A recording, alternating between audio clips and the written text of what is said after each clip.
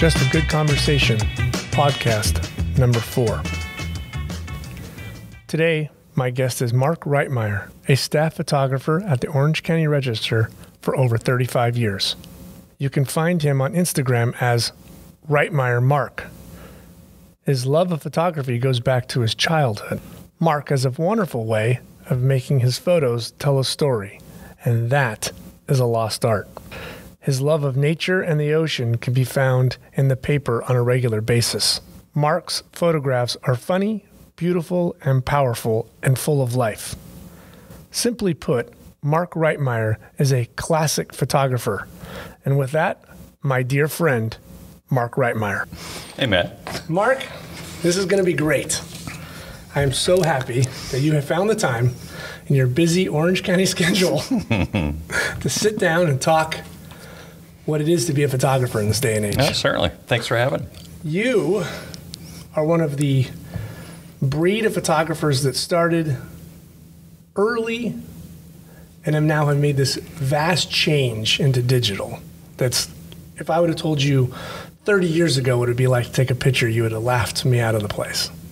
So take me back to growing up as a kid in Ohio where photography was presented to you. I think even started even before Ohio uh, in Michigan, um, East Lansing, Michigan. I got my first camera back in the mid late '60s, and but then we moved. My dad was a college professor at Michigan State University, and then we went moved to Ohio University down in southeastern Ohio, and that's where it kind of got more serious. I took the Saturday morning workshop at Ohio University. It was kind of open to the community where you would shoot photos and then develop your black and white film. And being in the darkroom, watching your prints come up on the paper was just kind of magical. And I think that's when I was kind of hooked. And I was in eighth grade. I was like 12 years old. Now, did he give you that camera, or how was it presented to you? Like, no, I think the I think I was using my dad's camera, and I had a like a Kodak uh, Instamatic uh, camera I was using, um, and and that's what I was using for a while until I got my first real camera when I was like I don't know 14 or something. I got a, a Nikkormat with a 50 millimeter lens. Right. Did the early process of taking pictures and then the back end process of developing did that come natural to you or is that a bit of a process oh, that was? A, that was a that was a oh that was a pain. That was so hard to learn how to make nice nice prints. And I ended up doing uh, working at the local paper, like doing lab work on the weekends, helping process film and watching their lab uh, lab guy make prints. He was a real good printmaker, and he taught me how to make prints. And yeah, I struggled for years to how to get a good print in the darkroom. What was the the difficulty? Was it just a combination of like filters and understanding like dodging and burning and time and because it was such a magical time to figure out how that worked as a as a young photographer. Oh, it's just it's trial and error, just constant. It's it's you know, the, I mean, your enlarger has a lens with f stops on it, and you had to figure out the f what f stop. You had to figure out your negative, how dense it was, or how thin it was, and what maybe f stop you'd put the lens at, and then you'd have to figure out how how long the enlarger would stay on to to put light onto the paper. I mean, every it, it, it was it was really hard to do. It's it would probably still be hard to do. I mean, I haven't done it in years, but yeah. At what point do you think you got good at it? A couple years in? Oh no, no. Uh, well, yeah, I think I got proficient at it Right. after two or three years. Right. Yeah, Not Ansel yeah. Adam prints, but Right. you weren't embarrassing yourself. Right, right, right. Yeah, probably at least a couple of years. And uh, but I hated, you know, my hands would break out because I'd put my hands in those trays of chemicals, and and you know I struggled with that on whether to wear rubber gloves or Tongs or or- tongs in the in the trays. Yeah, Right. Yeah. So you don't have that problem with Photoshop. You No, don't have to use no. tongs when you but, use it. No. but it's still a it's still a process. Oh, though. yeah. It's still But- people don't understand that once you take the photo, it's does it's not an instant photo. That No. there's more behind it. There's you Still have to massage it and get it to look good. Right. You know. Between your crop, your color, your contrast. right. Right. Yeah. What the newspaper wants in its colors are different Yeah, than and what. how how are you, yeah, and how you're going to uh, tone and and work on that photo so that. It, in the end, it will reproduce and look nice in a reproduction, however, Right. a magazine or a newspaper. Yeah. so when you were making those prints as a kid for the newspaper, did they tell you, "Hey, we prefer a more contrast photo or a less contrast"? Because as right, because you, you, know, get inking or something. Right. Yeah, yeah, yeah. You would you would kind of. I I think they were more uh, flatter prints. They wouldn't be like you know something you'd put up in a on a wall or in a museum or right. something like that. So then there you go. You, you have to know, like, oh, making a print for mom, it's more contrasty. Right, I'm making a print for Harold, the print master. He's going to want it flat. yeah. His name was the lab guy. His name was Pudge. That that already has a description of what kind of lab it was. Yeah. Was it? Uh, how how was he as an instructor? It was. Oh, it was great. Yeah, he was such a nice guy. He had tons of patience, and he was glad I was there every Saturday to you know help him out. You know, because it was just a laborious. You know, the one or two photographers the paper had, they'd drop off their film from their Friday night games, and it would be in an envelope, and he'd be sitting there spending half his Saturday running film, processing film, and then making prints, and you know. They didn't have So- to do their own film back then. Yeah, they did. Or they- but yeah, there was only one, like one staffer, but Okay. But he was doing everything, Right. So he would just got to run off to the next thing and drop his film off, Right. You know? Okay, so then you're a kid. You're eighth grade. Where does photography go from there? Are you doing school newspaper, yearbook? Yeah. Then in high school, I uh, just immediately got into doing uh, the yearbook and the school newspaper, and you know, taking a class on in journalism. I don't know if it was my freshman, probably my sophomore year. I started In taking high that. school? In They high had- school, yeah. wow. Yeah, we had journalism. Okay. It was like an elective that you can Okay. take. So we started. I started doing that, and so yeah, I was probably one of the main. There was one other guy, but yeah, I was like our school's photographer for the whole time I was there. You know. The guy. But I knew everybody. I knew all the people in the band. I knew all the athletes. I knew all the artist type people. I was friends with so many different people. When in high school, you got so many like cliques. You know, you're, Sure. you're a member of this group or that group. or, Right. you know. But you're the hummingbird now with the camera. I mean, that's what, what Yeah. it's like. Yeah. You Yeah. do hang out with the jocks for a little bit, Right. and you do some drama, and then you find out. Yeah. So that's Yeah. the best part of having that magical camera. Exactly. And I'm still friends with all those people that were in all those groups. Oh, that's so, special. you know, 45 years later, yeah. So, what camera and lens are you operating with in high school? Oh, I think I got, well, and, and then my Nikkormat.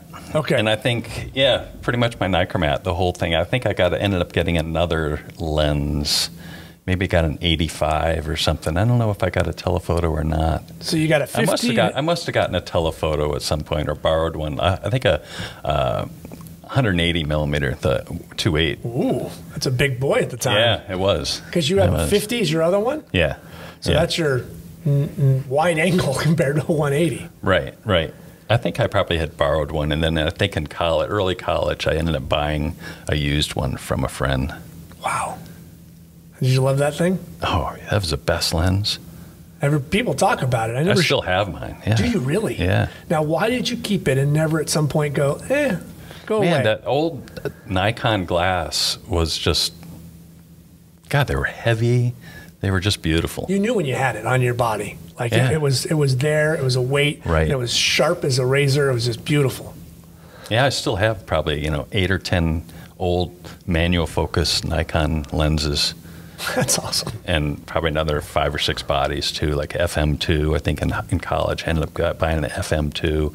I never went high the higher end. I know there are a couple higher end Right. Nikons, but I mean FM2 at the time was what maybe 250 bucks or something. And that's a lot of money back then. I mean, that was a lot of money to be like, I'm in high school. Can I buy this camera? Right. What Right. was minimum wage? I mean, good lord. I think it was a 235.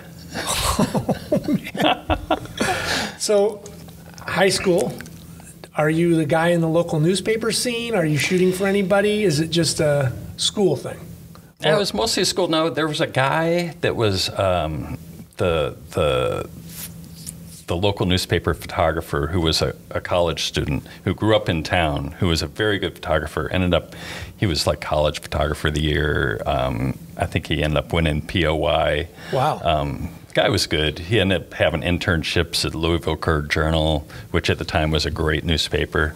Um, and uh, he, uh, interned, I think, one summer at National Geographic.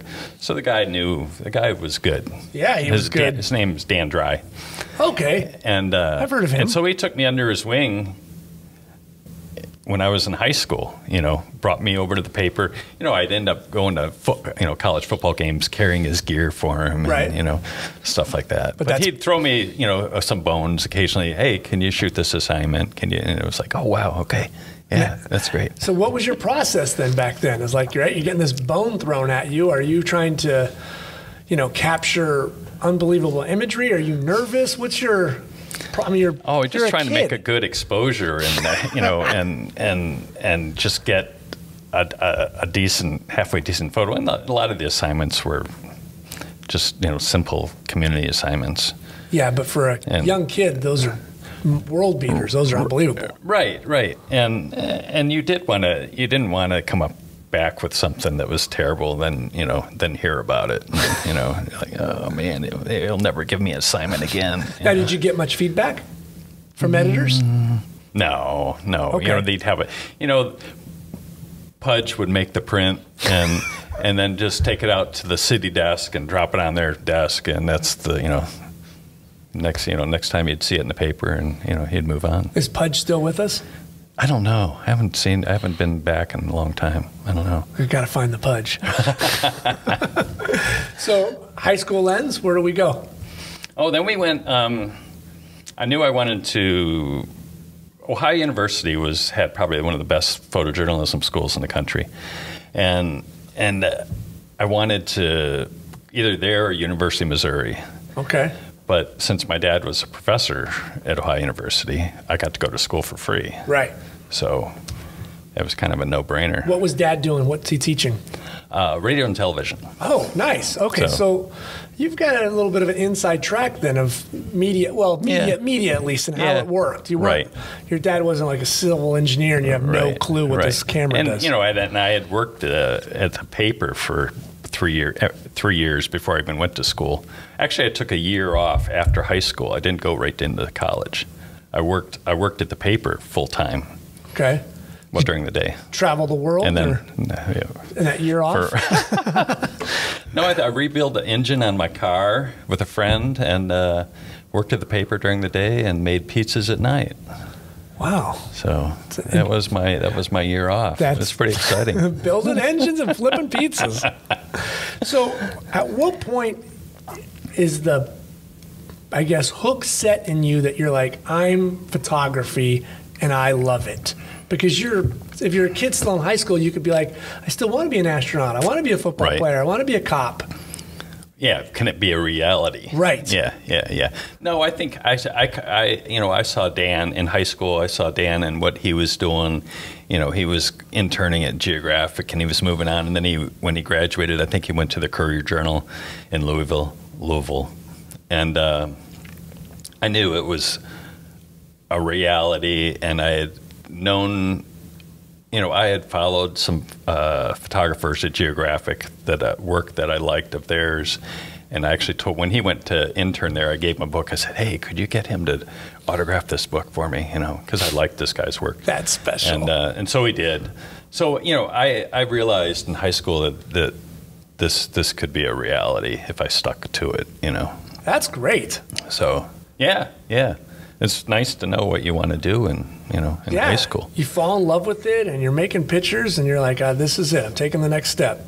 College. And then and then going to college, going to Ohio University and their visual communications program, we would have geographic photographers come and speak, and and and and. Uh, photo editors from New York Times come and speak and to our classes. Right. And we'd have these big time people and they and then they'd, they'd spend the weekend. They'd speak on a Thursday or Friday, and then we'd have a party on Friday night or Saturday night, and you get to hang out with these people. And wow. I mean, it was just magical. It was great. that know? that is special. Yeah. So why did Ohio State, Ohio University. Ohio, sorry, Ohio, why did they become this place instead of Kentucky or Illinois? How did they get that foundation? I think it was more the the com- school of communications that it wasn't just the the photo end of it, but I think across the board they wanted to be a powerhouse. Okay. and so it was other programs eh, that were Shaped were, this thing. were they, they had brought in big time people to teach and to so the you know all of their programs were Did you touch into any other parts of the department, like get into a, a TV or? No, Uh, so no. you just strictly that was enough for you to be Oh, yeah. a photographer. See, Yeah. that's great. Yeah, and then the the the the, the college had its own student-run newspaper. Okay. Which was really nice. I mean, we had Top you know, we notch. had- yeah, we had good- good photographers, good writers, and it was a daily newspaper, morning daily newspaper. So How was the circulation? I would think maybe maybe eight eight thousand That's a or lot, something. though. That's a lot for a little paper like that in the yeah, area that college. feeds the whole. Yeah. Well, the town was, you know, what, five or 6,000, and it had like 18, 20,000 students. So, Wow. so yeah, so we kind of competed with the, the town newspaper. Did you realize then how special it was, or do you look back at it now and go, "Boy, I had no clue how good it was"? No, I, I mean, no, we could do whatever we wanted. It was really special. It was great. we oh, loved it, man. We loved it. You know, it would, it was so addicting that you didn't want to go to class. You know, you wanted to go out and shoot Right. assignments for the paper. You wanted to do They just put it in you that like this is it. Damn it, that's we so- could do whatever we wanted.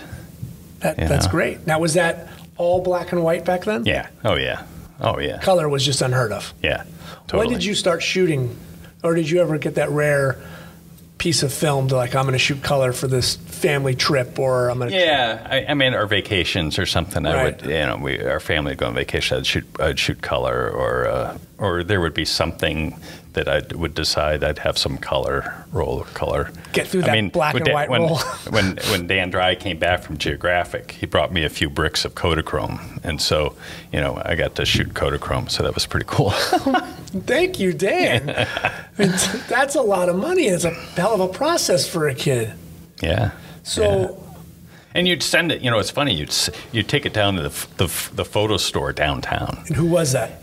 Uh, it was Lamborn's Okay. in in uptown uh, Athens, Ohio, on Court Street, and and you know they'd they'd fill out the envelope and they'd take your film and put it in and send it away, and you'd get it back. You know what? You know, a week, ten days later or something. Do you miss that like anticipation of that time? Oh no, yeah, I don't.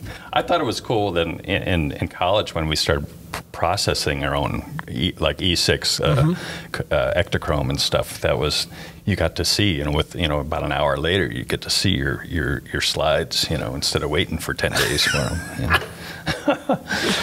Did shooting color was that process a little different for you that you thought about it? Like, okay, blue sky, it's not going to be gray sky.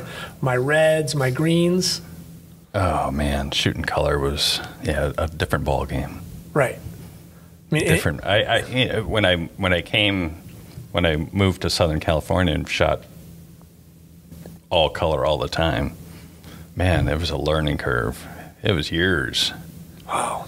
It was probably, you know, I hated the first two years shooting color.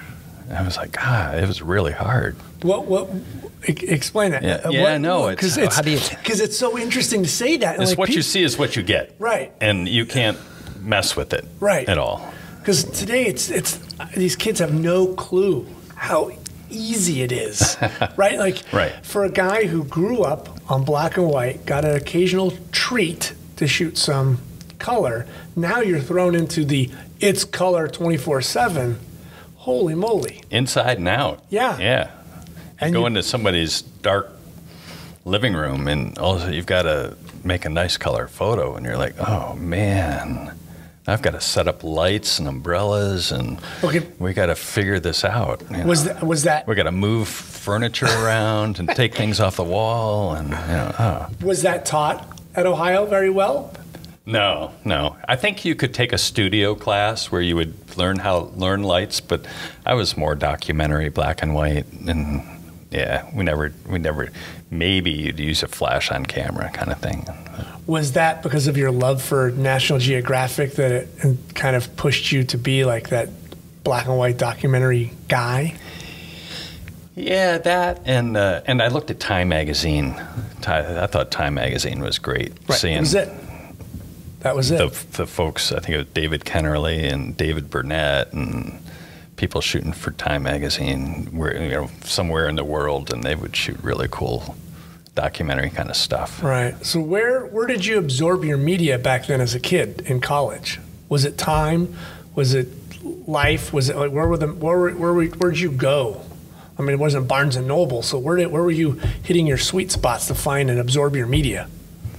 Well, it would come. I mean, we'd get Geographic and Time in the mail. Okay. Um, uh, we'd we'd get Sunday New York Times every Sunday, and I'd look at that uh, daily newspaper. Um, yeah, I'd go I'd go to the, um, the local bookstore and, and look at different magazines that we didn't get. You know, a, a, Life magazine or or, or uh, surfing magazine. I always love looking at surfing magazines. Why I is don't that? know. I don't Why know. It's so different. Okay. It was just you know Southern Ohio, Right. rolling no- hills of Southern Ohio, and God, somebody's out shooting surfing, making these cool photos, and I'm like, wow, that's really cool. right. Little did I know that I'd I'd move out here and spend 35 years shooting surfing, pro surfing. Right. You know, I mean, but the kid from Ohio know, Right, becomes a surfing photographer. when yeah. did you first see the Pacific Ocean? Oh, I'd seen it. Uh, I had I'd visit. I'd, I came out here a couple times and had seen the Pacific Ocean, Okay. but I think when I first it was probably you know my first day or two on the job when I moved here. And, All of a sudden, you got blue sky, blue ocean. or I'm, I'm driving driving to Laguna Beach and and you know it's eight in the morning and it, off to my right it's the Pacific Ocean and you know like are you kidding me? No rolling hills of Athens. It's the ocean. Yeah, that was kind of a trip. Wow. So you work your way through college. Are you? What's your mindset? Are you thinking National Geographic Life, or are you thinking I'm going to be a newspaper guy? Oh, I thought newspaper, newspaper all the way. Yeah, that that just seemed back then. That was your real. You, yeah, I think the the magazine jobs were few, really few and far between. You had to be be a you know a great you know photojournalist, and I think it was easier to get into papers and even to, you know back then there were some really across the country there were some really great newspapers for photographers, and so yeah, And maybe that would be a stepping stone to a magazine. yeah, Was that I, ever a never thought? really thought about a magazine. Really, Okay. Because then that was the goal, like, or at least yeah, it was I mean, the holy was. grail. uh, yeah, yeah, okay. but I don't know. I was just happy with. You know, uh, the more I did it, the more I was just happy with the the daily. The da- daily grind, so to speak, of the newspaper. You know, Yeah, something different every day. Yeah, there's know. something about that grind. Oh, it is. That it is-. It's kind of addicting. It's Yeah. like, what, what, what am I going to get today? Yeah, and what are you going to feed me? What are you going to feed me?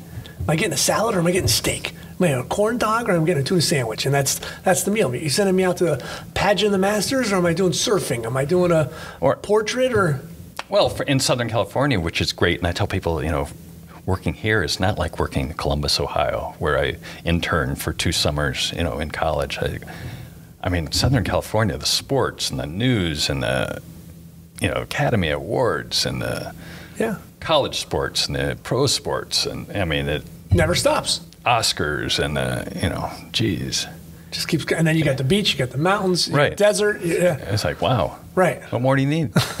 Why leave? why, why leave? so, what is your book looking like now through college?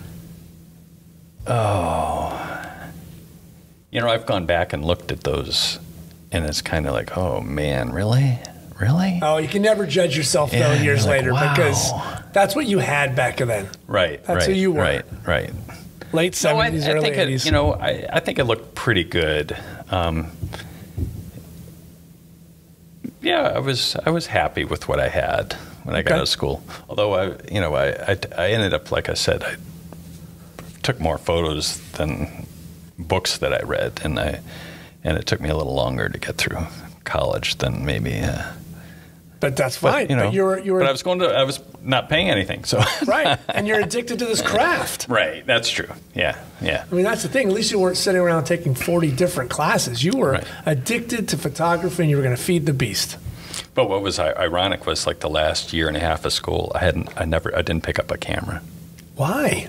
I had to get out of school. Oh, that- all my okay. all my friends had left. You know, I was like, I can't be here forever. You were becoming Belushi, my seventh year of college, wasted down the drain. So I hadn't, and then it was ironic. Then I got a call from my my advisor after I graduated, about a week after I graduated, Chuck Scott, who was a legend in in the business, and he goes, "I got a job for you."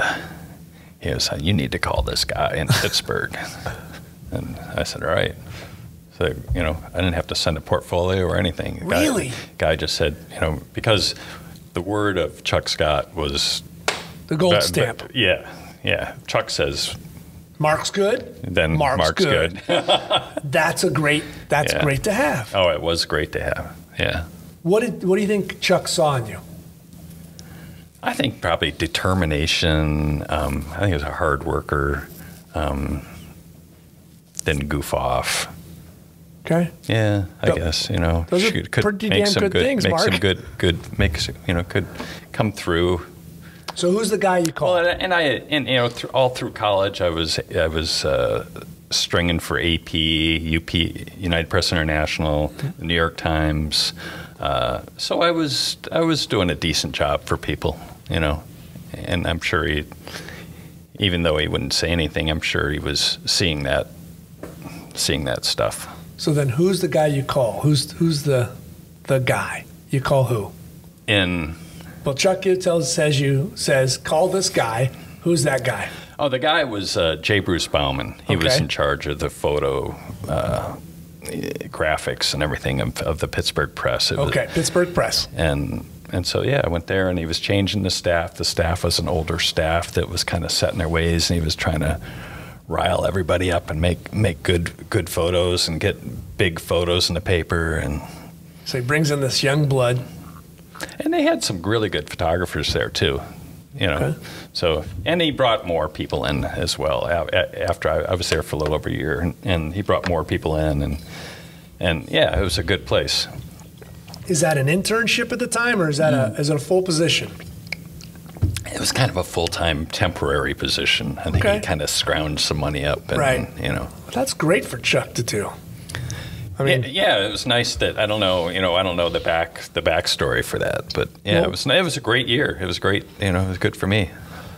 so then where are we looking from there? Do you think hey, this is a landing spot long term, or were you? Oh, that would have been nice. I love Pittsburgh. It's a great city. I love that. Oh, totally man. underrated. I'm sorry, Oh, but I think man. Pittsburgh is absolutely underrated. Oh, and if you live in that town, uh, Right. the neighborhoods and the restaurants and bars and Especially to- sports and the people there, it's just it's neat. It's Right. great. Especially today. It's beautiful the way it's set up. I love that place. Oh yeah. So, are you thinking long term at that point, or what are you thinking? Yeah, you never know. I mean, yeah, I would have liked to stayed longer, but Okay, so what Yeah. pulls you away know, from? I think a lot of eh, back then, back in the early mid '80s, the photographers would go to a paper, go to a, a decent paper for two or three, four years, and they'd move on to another one. Right. People were always a lot of hopping. hopping, moving, moving, moving. And And, why, it, that's just what people did. It, it was the weirdest thing. why you do know? you think that was, though? For photographers, because it didn't happen all in the pe- newspaper business. It was photographers. Right, right. And I, I, I don't. that was a good question. I have no idea why we, why they did that, Because but they did. Yeah. Because I mean, you know, as soon as somebody left, they created a job, and Uh-huh. it just was like this, you know, domino effect. Right. It was very rare because I would talk with Joe Kennedy at the Times for a photographer to be at a paper for 35 years. Like Right. you, you, you, there was a reason why. There's one or two of a staff of like 30. Two guys might stay. But like you said, somebody was always hopping. Like every senator, like every six years, you just rotate them through or more. I, I don't know why that was with them. I, I have no idea. Was it don't change know. the scenery to help May, you know, maybe keep juices? your yeah. Maybe that was it. You'd move to a new new town and you'd new scenery. You'd make you'd get excited about you know, you, you stay in one place a long time, and you're going, you know, you get this every year. Okay, we're going to shoot. Oh, I shot that. I've shot that four times, five times. You Right. Know? I've shot that ten times. You know. Was it also maybe uh, some staff will put money in like, oh, we're they're getting new gear. I hear they're doing better photos, or they're they're giving us cars, or this and that. Like there had to be little incentive carrots. I that could be too. Because what new gear what or cars right? or What strips you away from Pittsburgh? What was it that says, okay, I'm Well- leaving? Well, I think the money that full time temporary thing was up was time. It was time to move, and so I started looking for a job. Okay. So I'm calling. What's that process back then? Pre-internet. Call, call, on- your, call your friends. call you call them. Um, yeah, pre-internet. Right, I mean, don't that's know if the I wrote thing. them letters. I mean, Or no, I think I mostly got people's phone numbers from friends and started calling friends and did NPPA have a book back then? Were you man, even a I member? I don't remember. Yeah. Okay. Yeah. Uh-huh. Because I remember they, I, I remember when I was a kid in the '90s, they had that job book that you once a year come out with everybody's membership name and their number, or their address right, to like the right. They might may have. I don't know, but you know, through Ohio University, they, we were all pretty connected. We had people all over the country, and so those were most of my uh, contacts that I contacted, um, and a couple people that I had uh, gone to school with who worked at the register. And so, and they, they said, "Hey, there's a, there's this job open. We should apply for it." Who were those people that you worked with? Uh, Dan Anderson. Um, he, I would, I knew him, and he, he was. We went to school together. Okay. Um, and uh, I think at the time he was a graphics editor, Tom Porter. Um, and so yeah, they said that they said you should apply for this job, and I said okay. You know, sent my stuff out, and then they f- they flew me out Wow. for like you know three days, three or four days or something. Gave you the put, whole- Put me up in a hotel. Did you have to bring a book or have a book or what was your Yeah, yeah, yeah. I brought what was your book then? Uh, was it did the Pittsburgh start to seep into the book at all or was it still very Ohio heavy? No, no, there was no. There was definitely. I had some nice stuff out of Pittsburgh, and so there was that. And I think I still had a few things from college. Um, I'm trying to think if I had if they were prints or slides. Ah, man, I don't remember. I So- don't remember.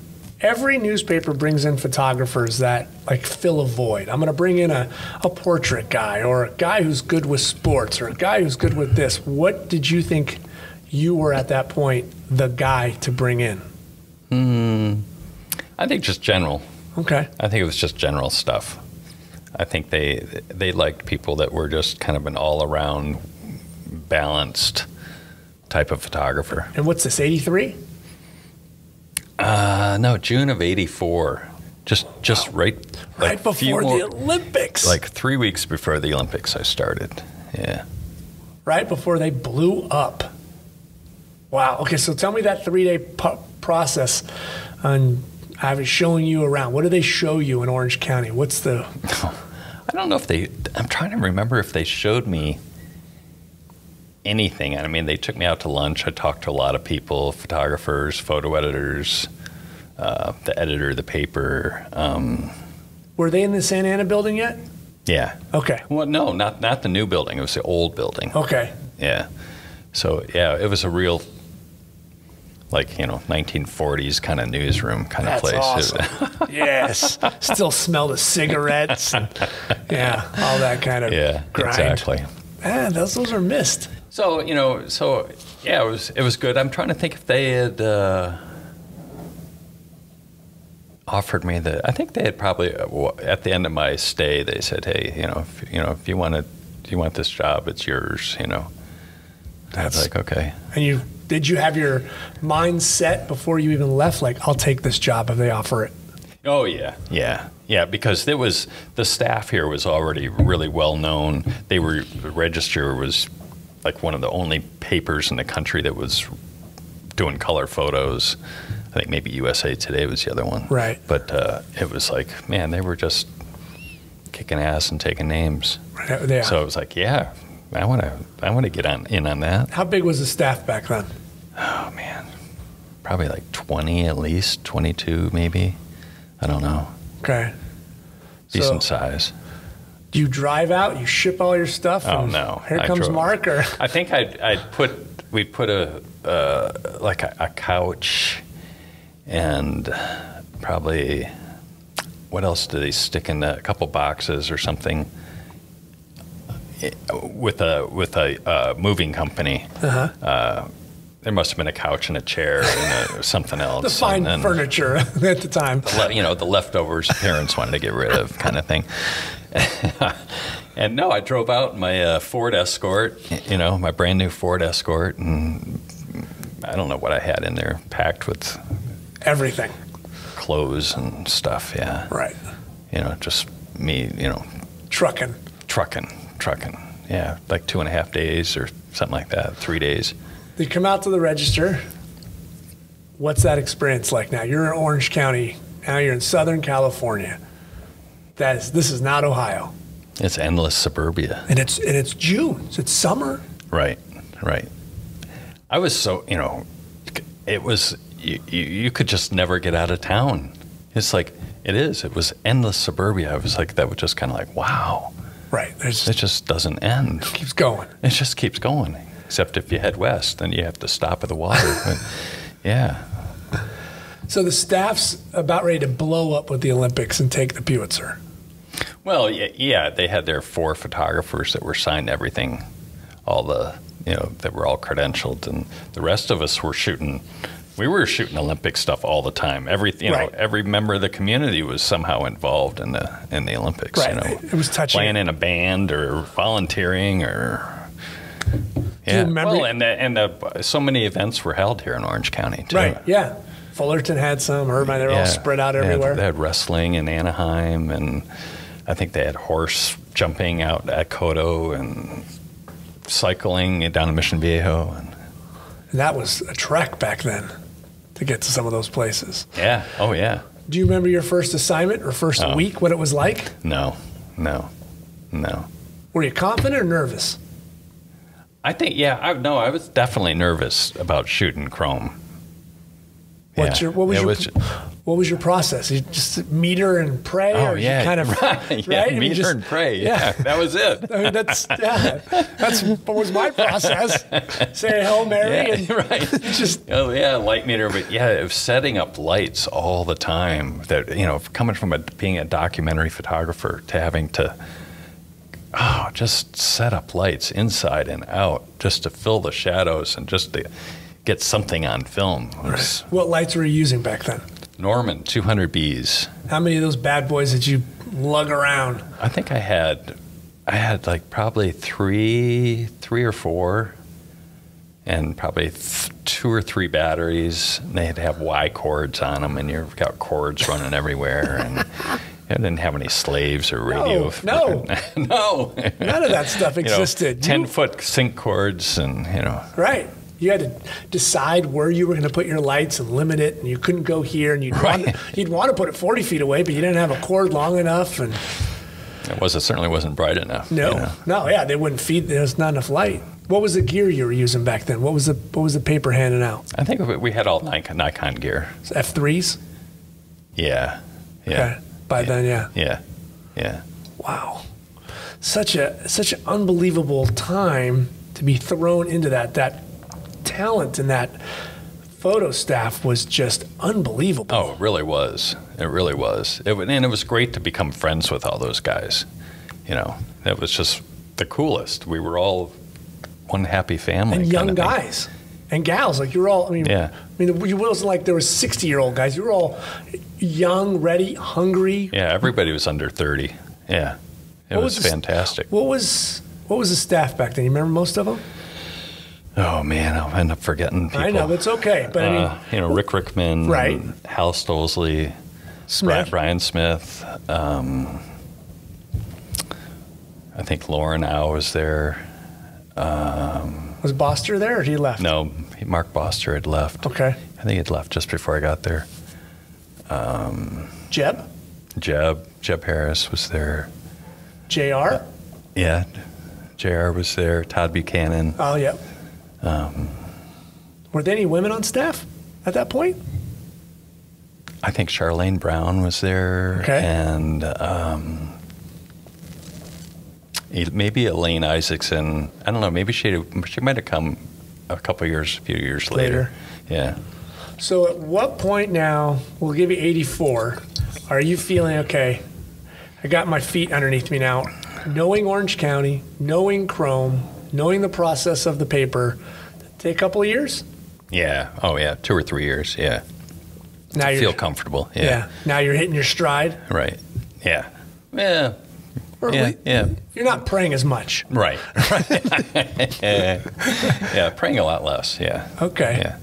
So Yeah. then, so what's that like now in Orange County? Find where do you where do you move? Where do you find yourself? Where where do you go? Oh, you're still, you're just still, you know, trying to make those nice photos on a daily basis. Um, uh, tr- trying to, you know, like a lot, a lot of the sports would happen at night, and so you'd, you know, if you're working a day shift, maybe if somebody was sick or somebody on vacation, you'd try to work into shooting the Angels or working the weekend and going to a USC game or something like that. Right. Trying to, because most of we were all very well rounded, and we wanted to stay that way. Because if you worked a certain shift, maybe you wouldn't shoot any sports, but you know everybody was dying to shoot sports, and so yeah. That was the hot thing. Yeah, or- why not? or- it was a great it was a great town to shoot sports in. Right, especially Yeah. back then. So I wanted to back up real quick because I missed this. So there was a a workshop in '77 you took with Sam Ammon. Is it Abell? Sam Abell. Abell. Actually, it was ninety one.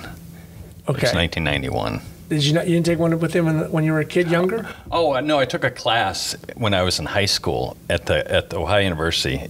I heard that because I had seen his work, and I, I had heard that he was coming to teach a class for winter quarter. Okay. And so I, I knew the people that ran the program there, Chuck Scott and Terry Eiler, because I'd known them through Dan Dry. And so I said, "Hey, I, man, can I can I can I come to this class?" Right, because it's that, that's the thing. It's it's pre-internet in the '70s, pre-internet in the '80s. Like to find people, find photographers, it was so difficult back then. So how was it taking those workshops with him? You know, and, and you only saw his work if you had National Geographic Right. or, or sought it out. right. How much of an influence was it with photographers like that? Did he really help shape or, or push a direction in your photography? Oh, definitely. Yeah, yeah. No, I, I mean, I loved. I mean, he, his work uh, was beautiful, but it was it was subtle. It was it was amazing. Uh, he did a lot of stuff outdoors. He had a couple books. He did a book on the Pacific Crest Trail. Um, yeah, I think that's why I, I just loved his work, and I was like, "Oh my God, he's going to teach!" You know, I want to, I want to, I want to take that, at least sit in on that class. I want to be a part of that. I want to, and you know, he said fine. Everybody said fine, and so you know, I think it was once a, every Thursday for like three hours. We had this class that I got, and I was with you know juniors and seniors in college, and I was a senior in high school. I see because I see his influence in your photography. Mm-hmm. It's there, and that's beautiful. It's carried on. Right. I don't think people get National Geographic or are exposed to the masters Right. as much. They're more like, oh, I found somebody on Instagram. Yeah, that's cute, but the masters Mm-hmm. teach you. Those are the important people. And it wasn't until I took a workshop in Santa Fe from him in '91 that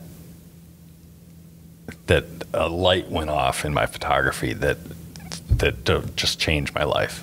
What was that? What did he? It was it was looking at your when you when you see your photo, looking at at your whole frame, all the corners, looking at everything, and that everything in in that frame you want in that frame,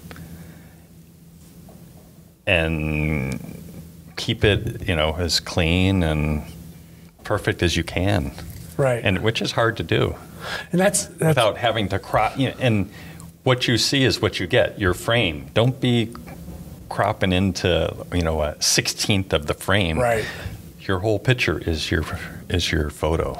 And that's so brave of you to say, because like some people would say, "What? You've been at the register for seven years. How did you not already know that?" It's like you're still still always evolving and wanting to get better. You don't want to be the Mark Rightmire of '84. You want to be better every day. Right. And for a guy with seven years under his belt at a major newspaper at that time to be like, "No, I saw another light and it clicked for me." That's fantastic that you were that open. Yeah, yeah. No, I, it was. It did. It did, like changed my immediately. Changed the way. I don't know if it, if all of a sudden I was seeing his. You know, he would show his work and and and then a light went off. Went, oh yeah.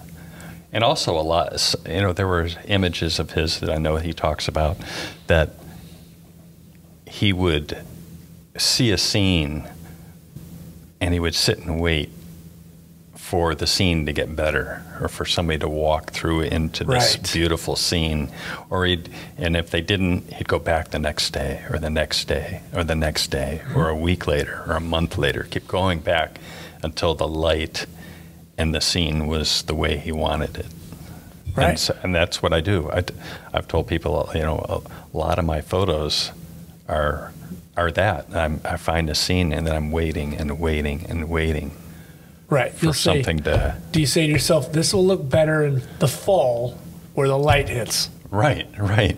Or in the evening, or yeah, or I'll pass a scene. I go, oh man, that's great. I'm going to come back tomorrow morning, or Right. It's better at 7 a.m. and and and hopefully, you know, something will happen. A, a person will walk through there, or somebody w- carrying a red surfboard will walk through. Right. Walk through my scene. so you come back from the paper with this new light on. Does it start to show in your work? Oh, I think so. Yeah, definitely, definitely.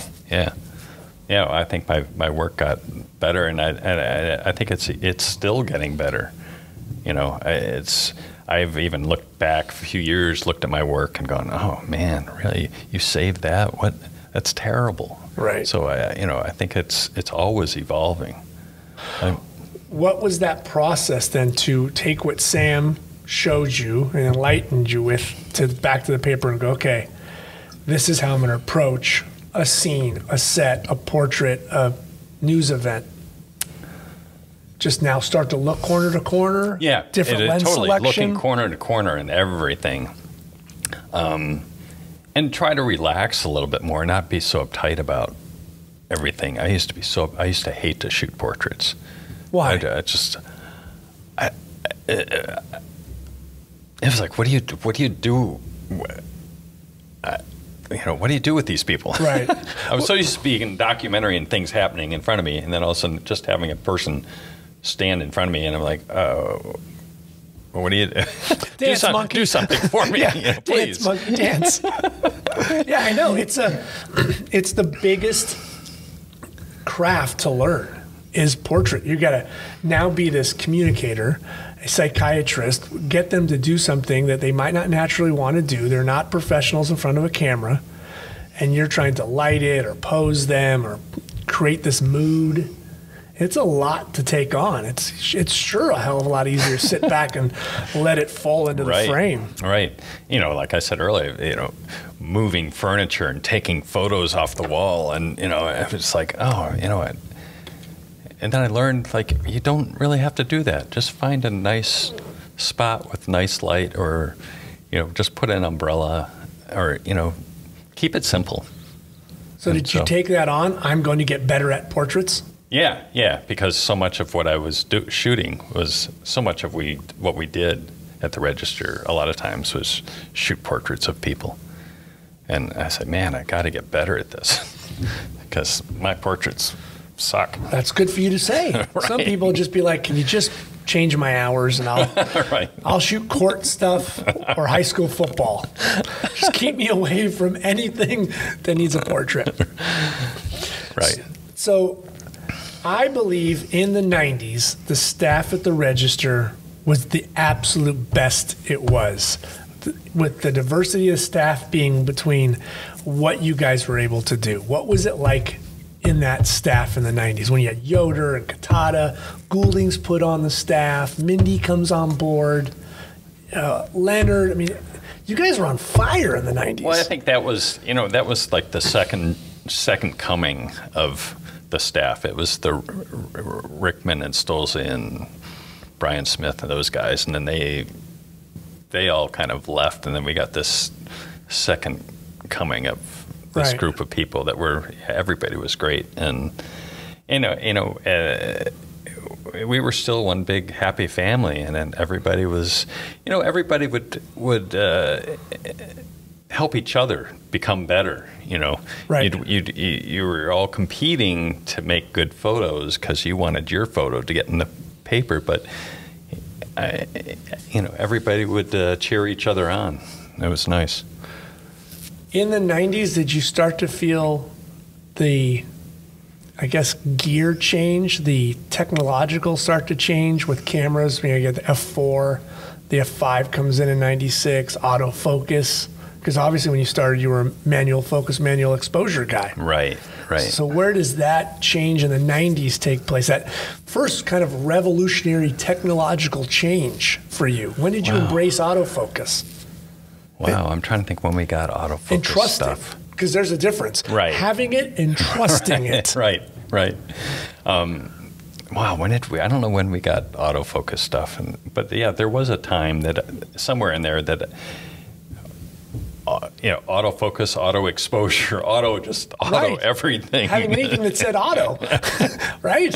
and just let it go, you know, and just worry about shooting good photos. Um, yeah, definitely. I mean, Even auto, you know, the flash things, you know, remotes and triggers and a slave unit that, you know, would help you out. Right, right. No, no, I think that kind of kind of became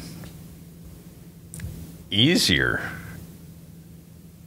so, so to speak, I guess. And you could worry about your backgrounds and I, I always thought it, it took sand out of your guys' pocket to make your job easier. Now you're more nimble and lighter to just make pictures Right, and not right, have to. right. I don't have to carry this light meter and that cord oh. and all the. I mean, oh, I was light metering it. You know, how many times have a light meter to light meter? Turn it this way, turn it that way. Yeah, this light. Every light had to be metered at least four times. Then you had to do the ambient. Then you had to do your. You know, you're like a math student sitting there trying to calculate. Okay, what is this? I need to get it to f8. How much light do I need? Right. You know? Yeah, definitely.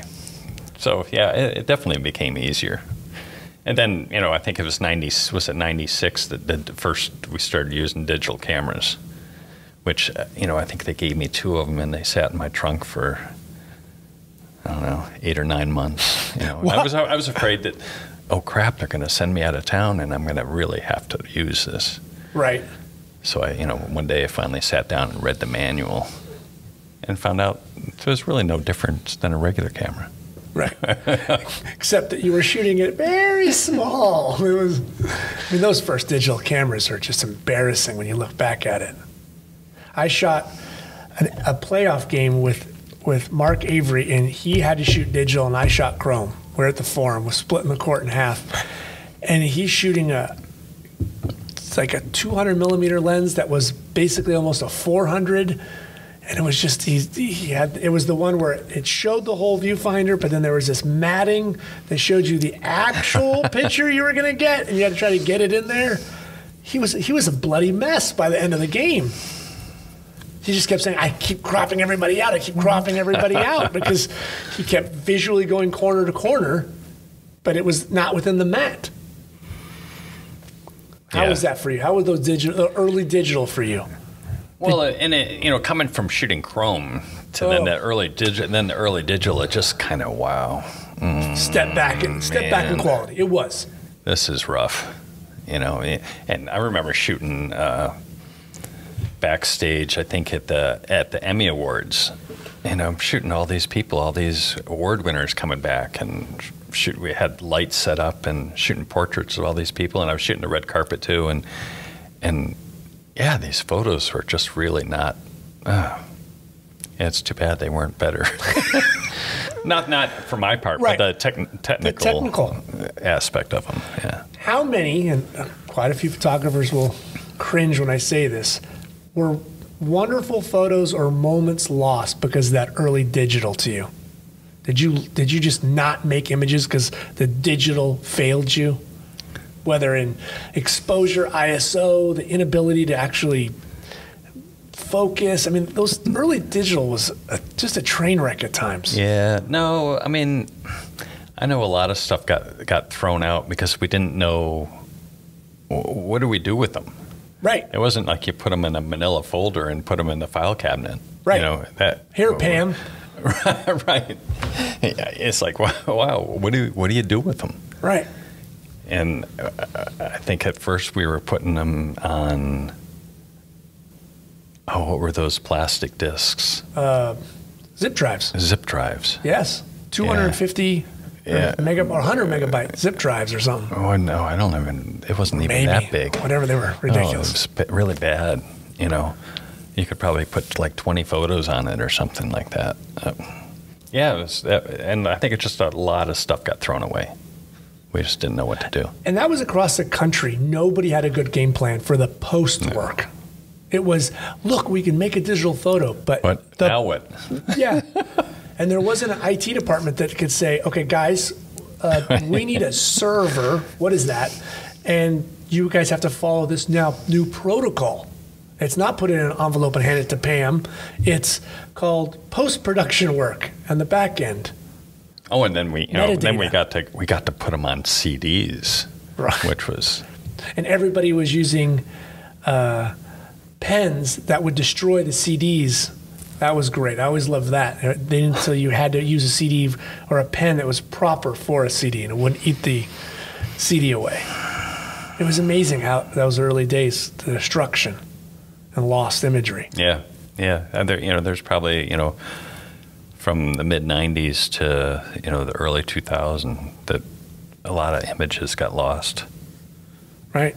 or they're great images, but they're you know five megabytes or something. you Right. know.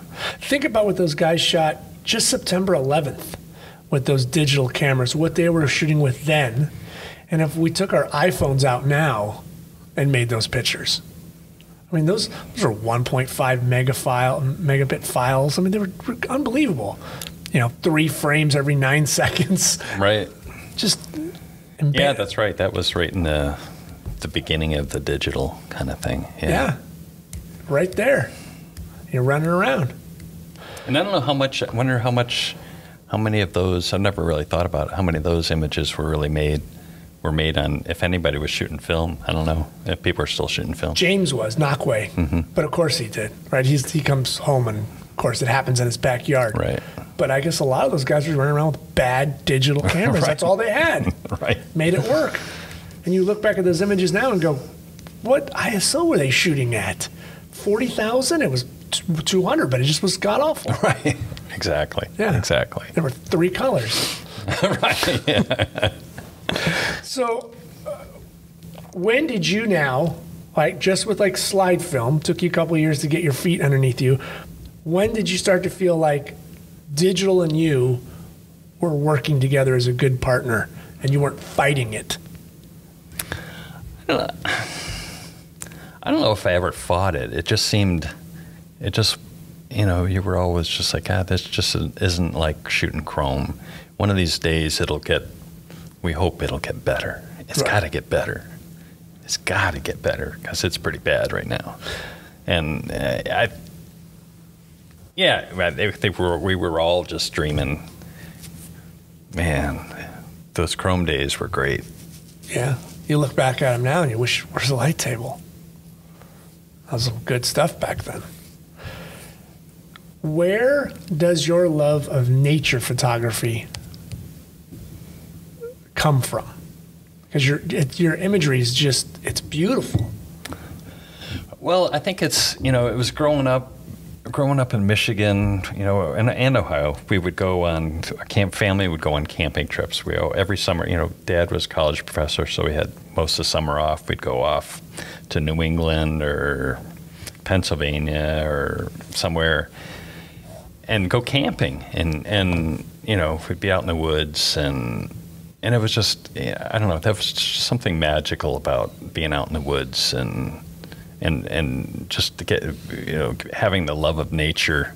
Um, and my dad would take me for walks when I was a kid in the woods, like on a on a Sunday afternoon, and and I, I just uh, there's something about nature that I always I just love being out out in the outdoors. And and then just seeing seeing photos Ansel Adams or uh, Sam Abell, just seeing these in National Geographic, seeing these grand photos of these beautiful, you know, of these places that somebody would shoot these sunsets or storms or whatever. And you know, I just really uh, over the years have really strived to try to shoot beautiful scenics, which are hard to do. To have the right light, to have uh, the composition the you know the clouds or the mountains or whatever all come together and then when it all comes together it's great it's a great feeling Just perfect. it's perfect yeah it's a great feeling yeah Did you ever, at your time, and let's let's just, let's just say it up to 2000, ever think I'm going to leave the register? Right? Because we talked about photographers being hot potatoes. You know, so now let's say you've been there 17 years. Is there ever a point where you're like, I think uh, Mr. Rightmire is going to pull up stakes and go elsewhere? yeah i thought i would after like i think after i met uh, my wife in 80 well uh, she she was at the register and then she left and then when she came back I was kind of that was probably like 89 I was there for like 5 years I said you know we should we should really move on let's let's and she goes well I just got back here you know I just started a job you know let me work here a couple of years and then we'll we'll go somewhere I'm like okay you know yeah I was Sure. after like 5 or 6 years I was like yeah yeah, let's go somewhere else. Yeah, why not? And never happened. Damn her. Gave her two years and it's lasted a lifetime. What what is no, but it's great. You know, I tell you know, like I, again, You've been it- blessed, it's, really. It's it's such a great. I'm not. I'm not a. Uh, I, don't, I'm not a big fan of uh, 80 degrees and sunny every day, but it's a still. It, this area is a great place to work. You don't have to shovel your driveway. Oh man, I made that mistake once. You know, I went back to see my dad at Indiana University. I think we uh, surprised him at Christmas, and it snowed one day like four inches. I said, oh, "Dad, I'll go out and shovel your walk and drive for it." And the snow was like, you know, like wet cement. and I come in and I'm just dripping, and I'm like, "God, that was a mistake. I'll never do that again." I'm going home. Take your holiday. Oh God. So where, eh, with your nature photography, how does that? How did you start to infuse that into your assignments at the register? Because like with your love of the ocean, which I'm going to categorize as your nature, like it so stands out. Like your style is so beautiful to nature, and you're a newspaper guy, and you you intertwine them so well. You know, I, I, I think I learned that from Sam Abell because he just did his thing. He goes, This is what I'm going to do. I'm going to shoot what I love. And if you want to use it, fine. If you don't, fine. But I think it was embraced. Some of the stuff that I shot was, and it still is, um, embraced by editors of the paper. And, they, you know, not, it's not all necessarily usable, but a lot, a, a lot of it is. And I think uh, they liked it, and, and I love doing it. And so it's like, well, okay, Let's it's my thing, man. I'm gonna. Right. Because you would think you've, by looking at it, you would think like, oh, Mark Rightmire must be this tall, blonde surfer dude because you've got this like absolute nature ocean feel to your photography. Like you've grown up in the ocean forever.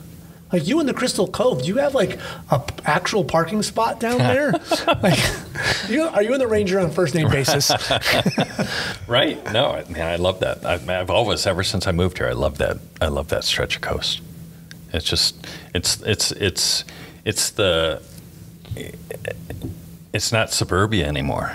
It's, it's beautiful. It's pure It's- Pacific Highway. It's just, well, it's just, it's nature. It's, Right. it's out there. You could be a million miles from, you know, anything. It's, it's, yeah, it's wonderful there.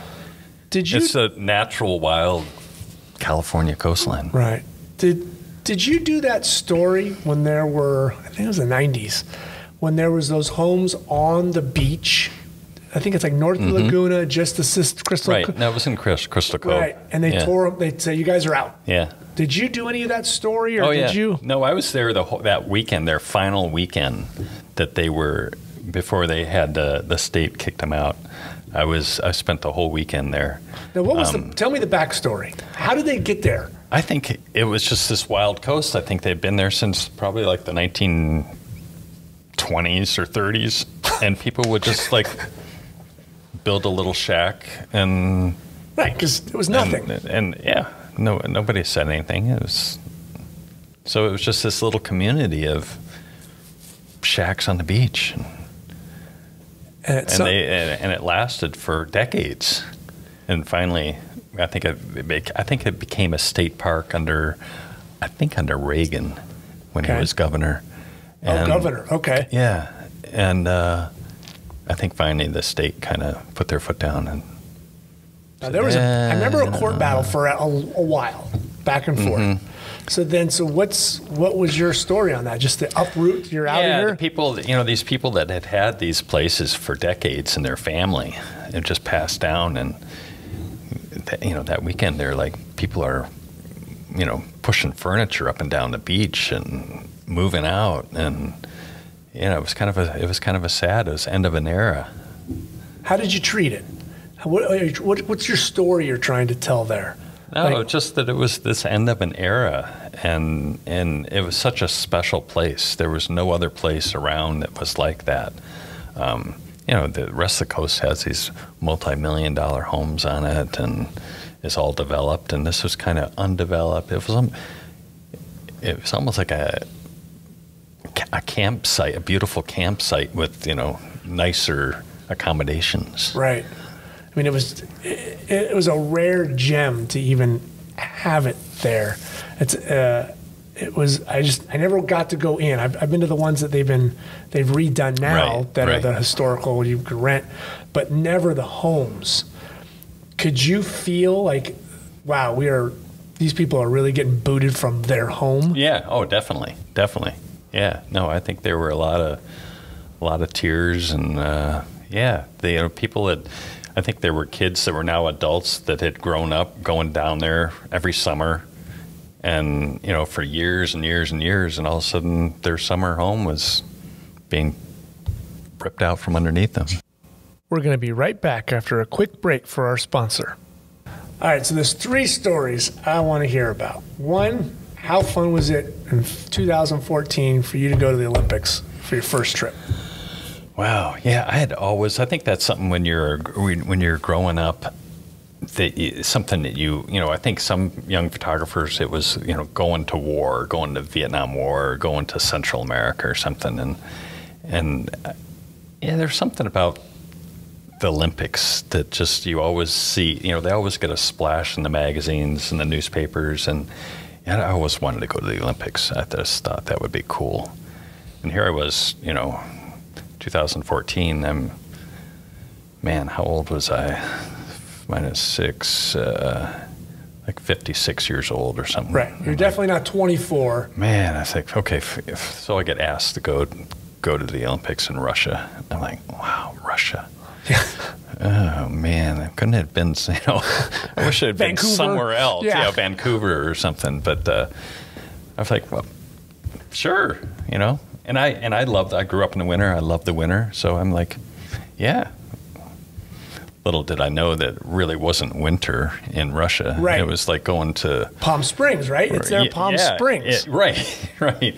It was, you know, it was it was in the mid, it was in the in the fi- in the fifties and on the on the Black Sea and right, they're, it- they're bringing in snow and Right. Well, they had. It was like here. You know, it was. They had mountains nearby, like we have Big Bear, Right. and and uh, they had some snow up there. I don't know if they they were making snow. Uh, they had some snow up there, but it wasn't ideal snow. But but yeah, it was it was it was uh, it was interesting. So, what's your pre-process? What, what are your thought process? What, what do I got to pack? What do I got to do? What, what, what pictures do I want to Oh, make?